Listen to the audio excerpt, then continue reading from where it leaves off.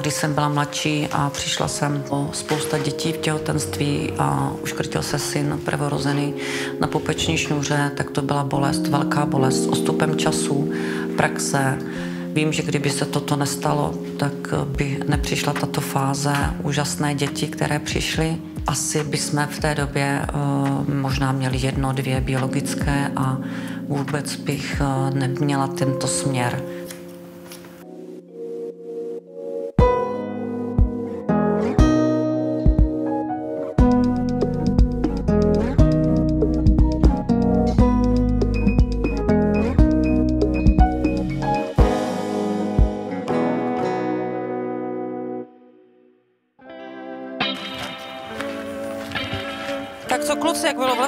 Dobře, čau.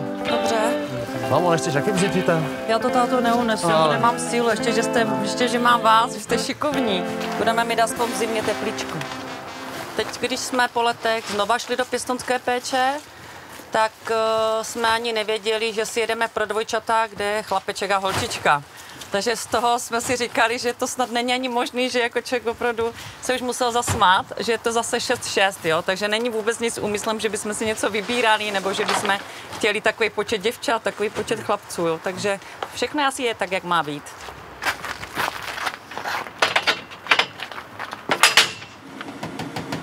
Jsem rád, pomohli jsme dost dětem, doufám. Takže nejstarší kluk je vlastně ženatý, druhý jezdí s kamionem, ten to taky spolupracoval se mnou v práci. Natálka taky pracuje už, odešla, bydlí s přítelem v městě. Marcelka se mi taky odstěhovala do Brna za prací, má tam masérnu, masíruje, že? Mm-hmm. Takže, no taková šťastná rodina.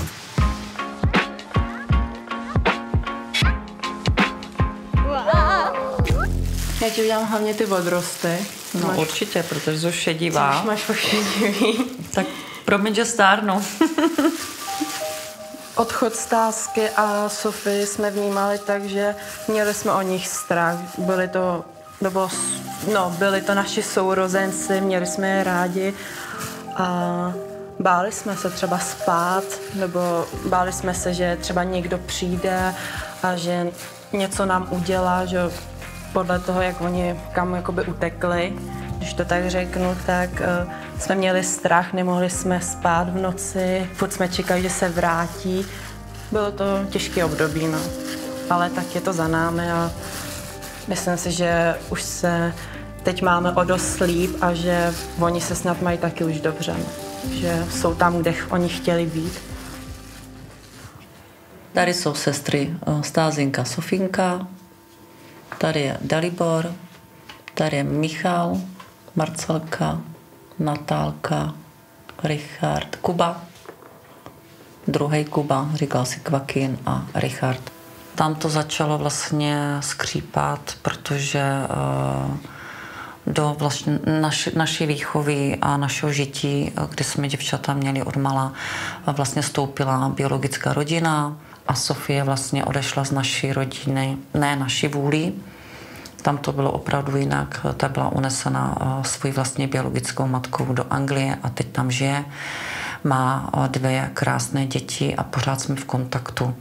Kdežto u stázky, tam to bolalo, protože jednak eh, bolest pro ní, že přišla o sestru, s kterou tady vyrůstala, rodina, která má i nemá zájem, jednou nahoru, jednou dolů tak přesto ta biologická rodina měla takový silný vliv, že jsme dva roky, dva roky uh, trpěli. No.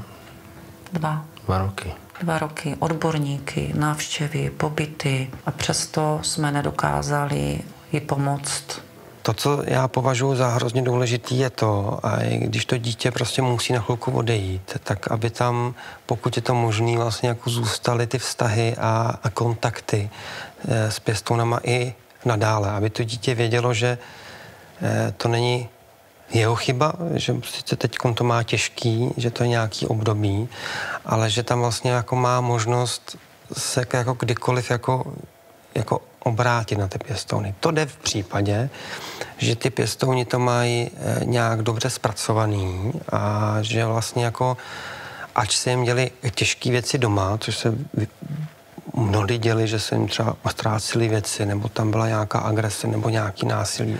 A, a vlastně tam dá tu možnost toho, ale že tím ale nekončí náš vztah. Dobrou chuť. Dobrou chuť.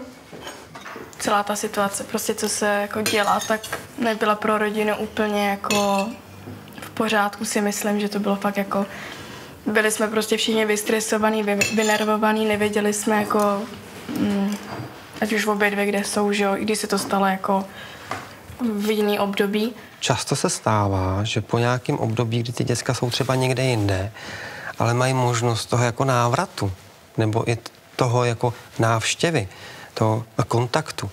Takže tyhle ty vztahy se jako znova, znova naskočí, že ty pěstouni jako ty dveře úplně nezavřou. Určitě nám tady chybí, ale zvolili si asi svůj, já nevím, svoji cestu v životě, chtěli to asi vyzkoušet, nakonec přišli na to, že, že měli rodinu, že měli de facto všechno a že asi o všechno přišli, ne asi, ale určitě. Ale na to vždycky časem přijde člověk fakt až později, no někdy dřív, někdy později. Každý to máme jinak. Ahoj. Ahoj. Voláš mi, lebo?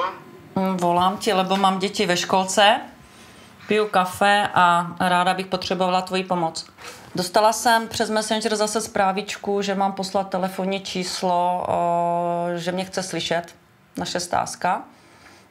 A přitom mě bylo ospodem řečeno, že teď v tuto chvíli se musí v novém zařízení ukotvit a neměli, by, neměli bychom být v tuto chvíli v kontaktu.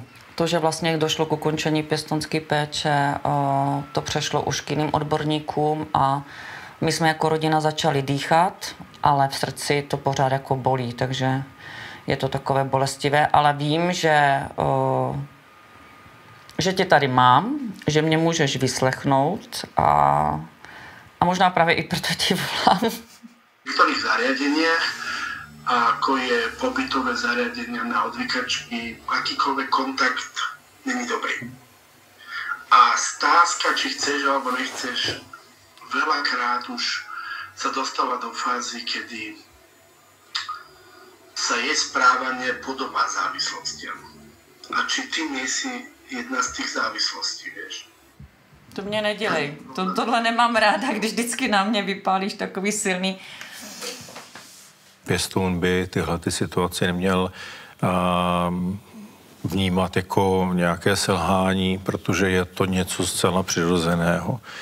Jako je přirozené, že dítě, které je naše biologické, jednoho dne opustí náš domov a my s tím nic neuděláme a můžeme si jedině přát, aby to dítě s námi pokračovalo v pozitivním vztahu, tak tady je to trošku něco podobného. Možná to někdy přijde dřív, možná to přijde méně očekávaněji, ale prostě stane se to. A je to zrání toho dítěte, zrání té situace, takže důležité pro pěstouna je se poučit a nestrácet naději a zkusit to zase dál.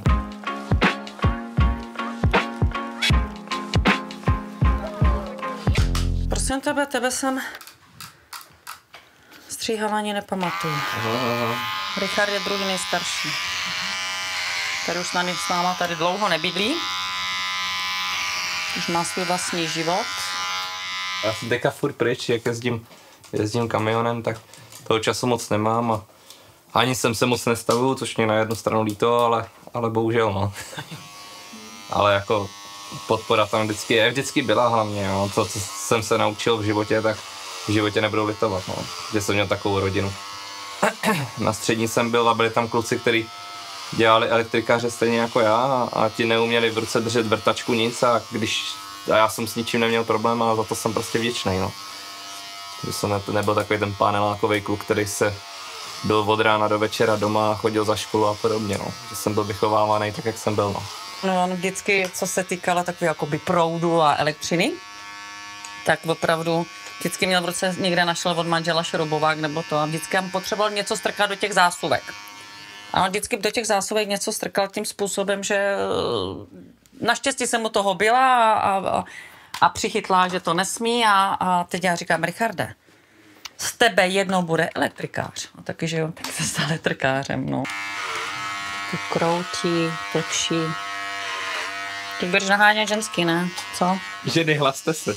Ženy, hlaste se, no. Víš co, Umíme mož- pracovat, umíme umít národ. Jenom nesmíte říct, koho by měli za tchýní, tak to by bylo ideální. Umíme uklidit a vypracit. Uvařit taky umíte? jo, jo, to já umím Taky dobře. Velmi důležitou součástí vývoje dítěte, ale i vztahu rodiče s dítětem je takzvaná individuace. To znamená, kdy to dítě nechávám vlastně v tom životě a, trošku na vlastní pěst a tak se nestarám o to, jestli si nabije ústa nebo ne, samozřejmě v přiměřené míře. A to dítě se prostě potřebuje osamostatnit, řekněme, do těch 25 let, do kterých může rodič fungovat jako rádce, může fungovat jako to hnízdo, kam se ten, to dítě může vrátit. Já říkám dětem, celý život se člověk musí učit. Jinak to nejde. Člověk jim řekne svou radu a potom se to už musí, musí dělat sami. A když jim to nejde, tak přijdou a, Já a, toho přijdu ve 40 a mi půjdeš pomoct ze střechu. a, mě to, a mě to potěší, pokud budu živý a zdravý. Když to by bude 40, mi bude kolik? Co? Když bude 40, mi bude kolik? No, asi hodně, tak stovka, ne? No, kolem 90. No. Myslím si, že uh, víc než je naučit základní věci života, samostatnosti, aby se v životě nestratili, tak to si myslím, že se nám daří. Určitých věcech už i podařilo, ale přesto máme ráda, že se vrací domů a vždycky se ještě zeptají nebo zavolají, jestli to udělali správně nebo špatně. Já můžu říct svůj názor, manžel může říct svůj názor, ale stejně je to ve finále na nich, že oni jsou ti, ti se musí rozhodnout. A my máme návštěvu. návštěvu. Jestliže se něco nenaučím do určitého věku, tak už se to nenaučím vůbec nikdy. A tady v tom věku právě přibližně mezi těmi 18 a 25 se řeší ten problém individuace a jestliže já si jako zvyknu na to, že ty problémy musím řešit sám, tak budu do toho svého velkého života vybaven tím, že problémy umím řešit sám. Jestliže mi někdo neustále bude poskytovat ten polštář, do kterého dopadnu a vyřeší za mě ty problémy, tak v těchto těch případech ty rodiče dělají dětem takovou psí službu, že je a, v některých případech až sociálně invalidizují. Máme velkého chlapa? Ty na ty Což je pro ty děti strašně špatné, protože ty pěstovní tady jednou nebudou nebo a, nebudou mít tolik sil, aby tomu dítěti pomohli. Tak já jsem se dostala k masážím tak nějak uh, i skrz aerobik, ale hodně přes mámu, protože ona vlastně si dělala masérský kurz a potom s tím přišla máma, že uh, abych se jako nevzdávala své praxe, tak uh, jí napadlo, že ona vlastně před dvouma rokama si vzpomněla jako na jeden hotel, kde masírovala právě a ty prostory se prostě nevyužívaly a bylo nám to celkem škoda, protože ty prostory jsou fakt jako pěkný. A tak jsme se rozhodli, že, jako, že to zkusíme, že bychom jako do toho šli. Za začátku se mi upřímně moc nechtělo, takže jako, ale dneska fakt můžu mámě jedině poděkovat, protože jsem se v tom masírování jako hodně našla a uh, jsem ráda jako za každého nového klienta. Tak co moci. Věřila bys to, že tohle bylo jenom kilo? No. Co? A proč to bude mě bolí víc, jo? Pokud si klademe otázku, co vede děti k samostatnosti, tak je to důvěra a zodpovědnost. To jsou jako takové dva asi aspekty. Zodpovědnost není dědičná a nelze ji předat. To znamená, je třeba vytvářet ty podmínky a prostor tak a důvěřovat těm dětem, že tu situaci zvládnou, že se s tím nějak vypořádají a že vlastně jako oni si vezmou, přeberou jako z toho prostoru, který my jim vytvoříme a začnou se chovat vlastně jako zodpovědně a k tomu je vhodné jim dát ty nástroje toho, že je bereme do toho každodenního života, aby měli představu, co vlastně ten provoz domácnosti stojí, takže je zatím i nějaká jako finanční gramotnost těch dětí, to znamená těch aspektů, které k tomu vedou je hodně, ale vlastně základ je ta důvěra. Věřit těm dětem, že to zvládnou. Takže já si dovolím, Marcelko, všecko nejlepší k tvým dvacetinám hodně zdraví, štěstí a aby ti v zimě nebylo v bytě smutno, Je, děkuji. tak máš tady takovýhodle podzimníčka, nebo spíš sněhuláka zimního. Oh. Na. Na. Děkuji. Děkuji. Takže Marcelko, všechno nejlepší, hodně zdraví, tvým dvacetinám. Nevím, ať se ti daří všechno. Děkuji. Jsou věci, které když si někdo řekne, že muži nepláčou, tak v naší rodině muži pláčou a, a jsem za to ráda, že muži dovedou plakat a neskrývají. Jsou tvrdáci, jsou to velcí chlapy, ale mají právo taky na slzy a to je vždycky u nás takové, jako když je další rok dalšího dítěte, tak nejenže stárneme, ale ty děti nám hrozně uh, rostou a vylítávají z hnízda a musím říct, že to je pro nás někdy, no někdy, u nás po každé, po každé, i to bolí. I to bolí, že nám vylítají, jsou šťastní, jsou spokojení, ale, ale pořád nám někdo v tom domě potom chybí, no.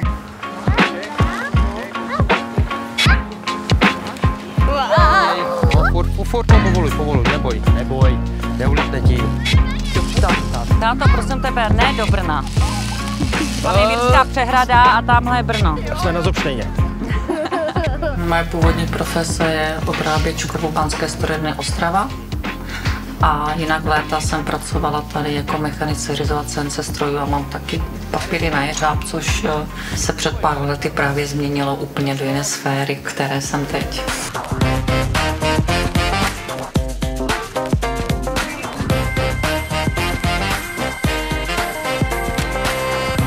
Se Marcela Dědová, jsem statutár neziskové organizace For Family.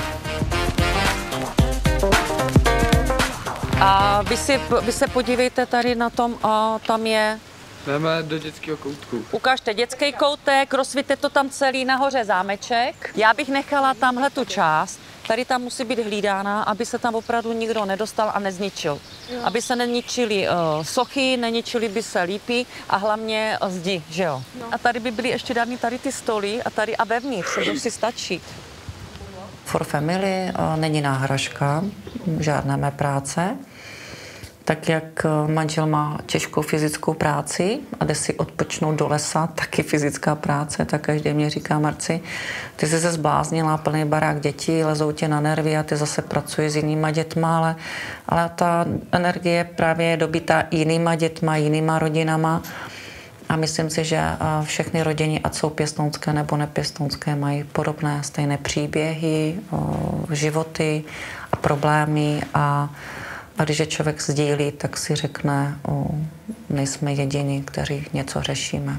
Pěstoun i klasický rodič potřebuje se rozvíjet v nějaké aktivitě, aby z toho nevypadl, protože pak máme ty vyhořelé nejenom pěstouny, ale i rodiče, kteří dají těm dětem všechno, v podstatě se izolují od toho vnějšího světa, pak toho litují, cítí se vyčerpaní, cítí se a, a třeba nerealizovaní a to my prostě nechceme. Když si to představíme, že máme kapelu tady venku, tom podloubičku, Ano, v tom rohu. tady, tady a v oni tom mají rohu. vzadu do moštárny, bych jim ještě udělala svý A, zázemí. přes, a pozor, potřebuji pětikolik, potřebuji pětikolik a tam ta elektřina právě je. For Family vlastně je propojeno s pěstonskou péči proto, protože vzniklo hlavně na základě pěstonské péče a název For Family pro rodinu je to proto, protože už já v té době jsem eh, byla nejenom pěstonka, biologická máma, adoptivní máma a poročník. Jsem Marcela a ráda jezdím na mezinárodní pobyt for family, eh, protože se tu naučím spoustu nových jazyků a najdu si tu spoustu nových kamarádů. Pak jsme se sešli a řekli jsme si, pojďme naše děti něco učit, co umíme my od našich rodičů, prarodičů. A před osmi lety vlastně přišla myšlenka, pojďme tady obnovit tradice masopustu, Potom pojďme se věnovat, eh, eh, nazvali jsme to raz, dva, tři rodina, pojďme se věnovat eh, Mezinárodnímu dní rodiny. A dokonce o měsíc později vznikl nový projekt. A Den otců, Den otců, takže to byl letošní náš společný pilotní projekt, protože jsme si řekli pořád maminky a tak, tak něco pro táty a měli jsme tady i rokové kapely.